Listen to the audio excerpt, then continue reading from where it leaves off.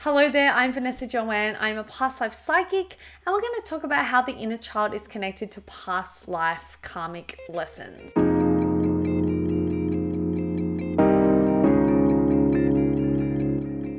Hey guys, thank you again for joining me onto this video. Um, if you're new here, please subscribe. Otherwise, welcome if you are regular here that comes every week. We're going to talk about something pretty interesting. It's about the inner child and it's about master lessons and also about how that ties into past lives as well. I love, love, love talking about all these sort of things. So if you want to tune into more of my content. I have all things about quantum healing, um, future lives will be coming soon, past lives, parallel lives, all the good stuff. So, with today, we want to really talk about inner child, how that's connected to our life lessons, and how we can actually understand and heal through that as well. So first of all, let's I haven't really done many videos about this, but let's talk about the inner child for a second, all right? Inner child is also something that I will be doing more videos about in general, but let's just get really like get just scraping through the surface, right? Inner child is essentially that little part in us that has been with us since we were a little baby all the way up to this point of time. Past lives as well is something that I've spoken about a bit on this channel, but past lives is essentially a part of your soul that's been different people in past lives or lifetimes, um, before or now, um, that you're living at the moment to learn those lessons, in particular master lessons. And that's what comes into master lessons is those main lessons you want to learn in your lifetime. So we have multiple and huge lessons that we need to learn, but we we always have like, you know, three main lessons that we're here to learn, and that is what we're going to focus on as a soul to create life experiences to really kind of learn those lessons in our human life. So, what does that little part in you, that inner child, tell you about your karma? So, the, the beautiful thing about inner child work is that you actually are really healing a lot of the past life karma that you haven't learnt in other lifetimes. Whatever is the main main theme in your childhood that you've learnt or you've had to navigate, you might not even been able to heal yet, um, is the main lesson your soul is here to learn. As we're told, as inner child work, like any psychologist would tell you and anyone would tell you like whatever you had in your childhood if you don't heal it you're going to repeat the patterns of your father wound is like your next relationship and your mother wound is kind of like your sister wound which is kind of like over this. And then you know there's we people people join the dots to our childhood as being the main source and branching out into each of those wounds i guess that manifest in different relationships and situations and careers and all that stuff but what if we went a little bit deeper there? Your inner child's actually the third in line, okay? So, what I mean by this is that it actually starts with your past life selves that are the running theme of your inner child wounding, right? And then the next one is the ancestral healing on that. So, we actually are manifested not only by our soul and our own individual past lives, but also, we want to heal ancestral healing too. We're here to heal patterns in our family that need to be broken or need to be done, right? Or cleared or maybe repeated, right? For some of us. Not everyone here is to clear and break all the patterns. Like, we're here to learn what we're here to learn. And some people are meant to repeat the pattern so then the next person in line can heal it. Um, so that's something to know as well. We're not not every single person's a light worker where they're here to learn and clear and do like not everyone's meant to. Some people are meant to repeat the pattern. So the person that the soul that does it four year, four lifetimes further in the future, they can break that pattern that they've repeated. So it's almost like a cycle. It's like a wheel that we're sort of learning as well. Um, but yeah, it actually starts with your past lives. Then it goes into ancestral healing or whatever the ancestral patterns are, and then the manifestation of that as well is their inner child. So past lives is important, but we also don't want to forget the ancestral part because our soul, once again, makes up those lessons. So goes, okay, I really feel like I'm the person that's going to break this pattern in this family. So I'm going to see what I can need to learn on a on a master level um, with my own self, but also what can I do to help that family name, right? And you heal that, or you know whatever comes from that. That is how it's manifested as well. Very unlikely you're you are just going to come out and learn a lesson that has nothing to do with your family right? It's always got to do with the family. So we can't forget that that is the second part to the puzzle before the inner child is even born before it's even created through that. It's very important when you do this as well that you're very aware of the people in your life. Who is your mother in this life you know, if you've got that awareness, you know, wonder, you can always even just wonder and ask spirit, like, what was my mum in a past life to me? And what do I need to learn through her? Or maybe it's mother, your father in this life or your brothers, your sisters. If you've got tiff with people in your life, that's generally karmic, right? If you get along really well or you have like, you get along, you glue, like glue, and then you get along really good and then you sort of go away.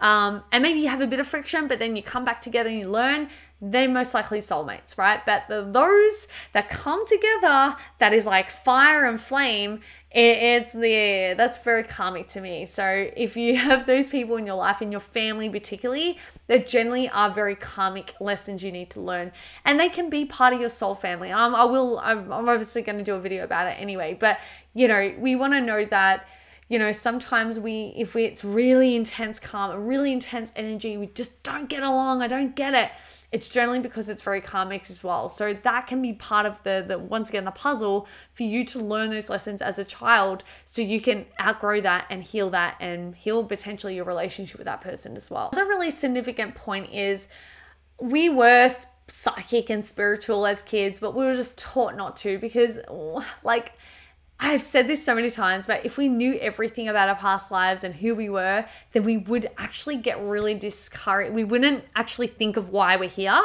I feel like, in a way, do you know the term um, Truman Show? That's how I think this all plays out, right? We're, we're watched by spirits, guides, angels. We've set things out he didn't know, but we've set things out we want to do. Um, and then when we're here, we don't really know about it because we're not here to know about it, right? We're here to learn what we need to, then we leave and go to the next life or we, we move on, we do whatever we need to do based on our soul. It's important to know that your interests, the things that you're drawn to, you're passionate about as a kid, generally is things you've been in past lives or something that you've been fascinated with even like if you loved you know police or doctors or law like if you know what you're here to do as a kid generally that can mean you're in tune with your purpose and that's awesome. Um, otherwise it could be a sign that you've been that in a past life and you're wanting to be that again. Um, but of course life teaches you lessons along the way of where you need to go and you're always where you're meant to go right? Life will always direct you that path. And what i feel is that it takes about 25 years before your childhood wounding is like laid out okay? You can heal of course absolutely you can heal but generally, from like the 25 years, from zero to 25, that is generally when you stop growing as a human, right? We our brains don't grow anymore. Um, you know, we don't get any taller or anything. Um, you know, so that is kind of like the start and ending of the growing phase as a human. So from then on, it's kind of like, well, what's the next 25 years going to do based on all the wounds you've learnt in those 25 years? And then we start learning from 25 onwards, like quarter life crisis, right? We start learning about our life, what we need to do. Oh, why did I do that at 20? And all that stuff. It's that we have the first 25 years of learning and growing and evolving as a human, learn those hardest lessons back then. And then the next 25 years is kind of like, yeah, it's that next level of, of facing, clearing, healing. And some people don't do that, and that's okay as well. But that generally is a rule of thumb of what have you learned in those 25 years of your childhood stuff, particularly, but also your early 20s as well, because that's going to allow you to understand even more that remember, everything comes from the childhood in terms of this human life. So, from what we know, your childhood wounds are reflections of your past, your partners, your family, your, all these things that manifest through your childhood wounds but know that that wounding, that lessons, those things you went through needed to needed to be done so you could get into your master lesson. So based on this information, do you feel doomed or do you feel like this is a good growing perspective for you? I think it's a lot of growth to this. Yes, knowing everything is not always the best, right? But what we can do through this information is that we can allow it to give us the insight, the awareness, and the understanding over things that we've gone through. It can give us that pressure and that that that I guess victim mentality that we might have and allows the ego to take a back seat so you can actually see what is true and what is the real lessons here. What are you here for? You know, we're here to learn those master lessons. And unfortunately, it has to start in the childhood. Otherwise, how is your life going to map out to, to really learn the master lesson? So being a bit more aware and kind to yourself in those moments it's going is what's going to allow you to be not so hard on yourself, but also give you permission to heal this and to know that you might naturally heal it in this life. That's cool. But I feel like if you watch this, you're obviously inclined to heal more. And then when we heal more and have more awareness, we fast track our healing, right? Yes, we heal every day. We're all healing every day. Everyone, even if you're not spiritual, even if you're doing nothing, right, on this earth. Like, let's say you're just living a normal life, you're still healing, right? Because you're still dealing with every challenges, you're dealing with everything, but you're on a slower, it's like a snail, right? A snail that's like trying to get to the other side of the house. It's ages away. But when you actually have the awareness and drive to heal these aspects, you're fast tracked. You're literally like a cheetah now. You're running. You're literally like sprinting to a new life and a new way of living. Instead for the snail who's still doing the work, still working, but it's not as fast. And that's the way this all works. It's the the duration, the intensity, and the length of how fast you get to where you want to go. And those things are in the way, you know sometimes we never heal the chorus wounds. And we don't heal the master lesson, the overall master lesson, let's say that you're taking the real slow route, all right? You did not do any healing, you didn't grow from any challenges that life threw at you, and you feel like, you know, at the end of your life, you're just like, I didn't really learn too much. I didn't really do anything. I didn't really, I didn't treat that person nice. I didn't, you know, I blamed everyone for all my stuff. Like I didn't take any responsibility. I bl- I just became really narcissistic potentially. You know, that's going to make you reassess as a soul of going, okay, did I learn that master lesson that I was said that I was here to learn? And you'd ask yourself that. And if if nothing, if you felt well, it's not even a human thing here, it's not even a feeling thing. If your soul was like, nah, I did not learn what I needed to learn.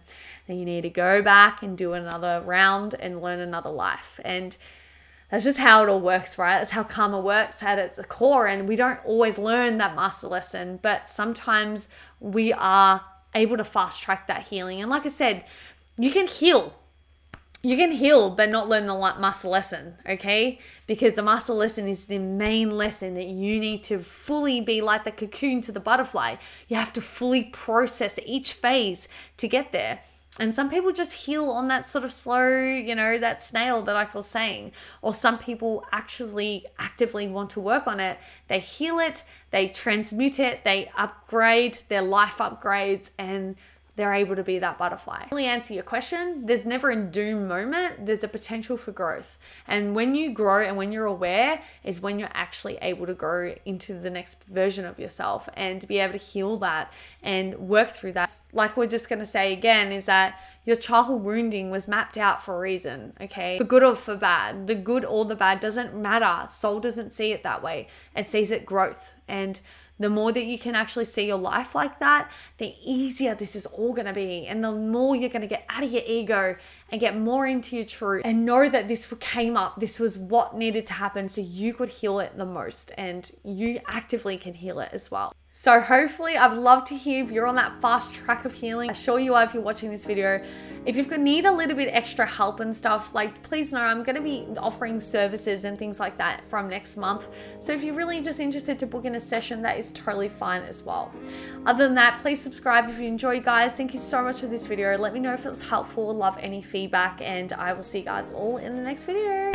Namaste.